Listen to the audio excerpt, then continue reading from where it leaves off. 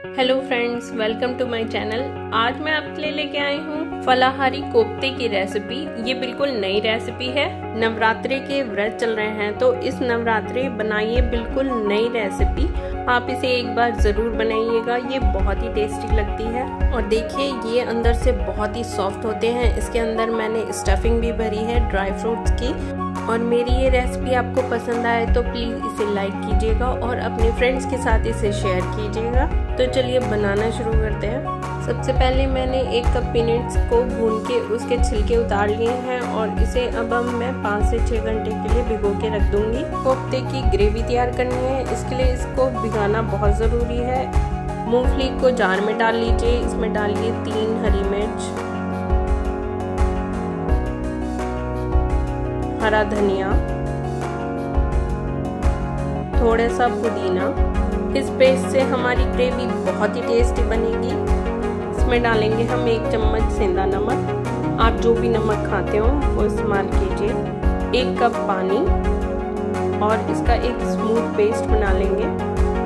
देखिए पेस्ट एकदम रेडी हो चुका है। चलिए हम अपने कोफ्ते बनाने की तैयारी करते हैं।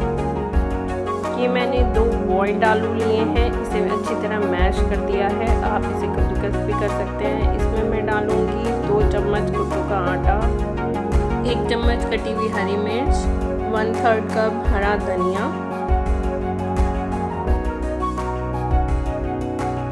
भुने हुए जीरे का पाउडर आधा चम्मच, और इसमें हम डालेंगे सेंधा नमक। सेंधा नमक मैं आधा चम्मच का भी हाफ़ यूज़ कर रही हूँ। नमक आप अपने टेस्ट के अनुसार डालिए। इसे अच्छी तरह मिक्स कर लीजिए। इसे हाथों की हेल्प से अच्छे से मिक्स कर लीजिए। एक स्मूथ डो बनाना है हमें। इसके कोफ्ते रेडी करने हैं। चलिए इसकी स्टफिंग तैयार कर लेते हैं। इसके लिए कटे हुए ड्राई फ्रूट्स एक चम्मच, आधा चम्मच नारियल पाउडर आप कद्दूकस किया हुआ भी यूज़ कर सकते हैं। एक चम्मच किशमिश इसे अच्छे से मिक्स कर लीजिए। अब कोफ्ते बनाने के लिए अपने हाथों पे थोड़ा सा ऑयल लगा लीजिए और इसके छोटे छोटे बॉल्स तैयार कीजिए। इसके अंदर हमें ये स्टफिंग भरनी है। देखिए, इस तरह से इसको थोड़ा सा फ्लैट कर लीजिए और इसके अंदर थोड़ी सी स्टफिंग भर के चारों तरफ़ से कवर कर लीजिए और इसके छोटे छोटे बॉल्स तैयार कर लेंगे हम। देखिए, इसी तरह से मैं अपने सारे बॉल्स तैयार कर लूँगी। बहुत ईजी है इसे बनाना। और अगर आप इस रेसिपी में कुट्टू के आटे का यूज़ नहीं करना चाहते तो आप सिंघाड़े के आटे का भी यूज़ कर सकते हैं। ये उतने ही टेस्टी बनेंगे। इसी तरह से मैं अपने सारे बॉल्स तैयार कर लूँगी।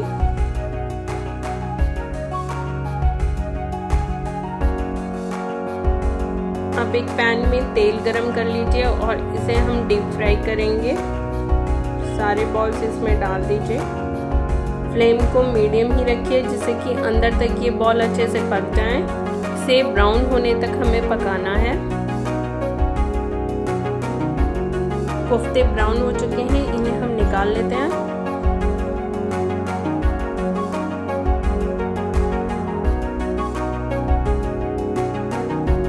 चलिए इसकी ग्रेवी तैयार कर लेते हैं। इसमें हम एक पैन में दो चम्मच तेल ले लेंगे और आधा चम्मच जीरा डाल लेंगे।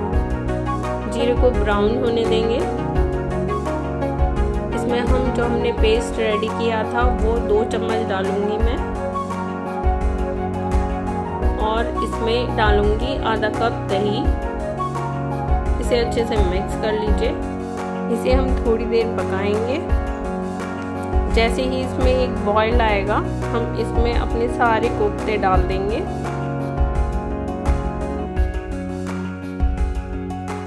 इसमें मैं डालूँगी एक चौथाई चम्मच नमक। हमने पेस्ट में भी नमक डाला था, इसलिए अगर आप ज़्यादा नमक नहीं खाते तो आप नमक मत डालिए। इसमें हम एक कप पानी डाल लेंगे और अपने सारे कोफ्ते इसके अंदर डाल के अच्छे से पकाएँगे। जब तक हमारे कोफ्ते बिल्कुल सॉफ्ट नहीं हो जाते। दो मिनट पकने दीजिए।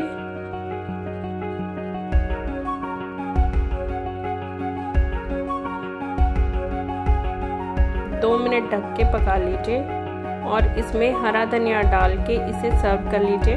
लीजिए, हमारे फलाहारी कोफ्ते बिल्कुल तैयार हैं।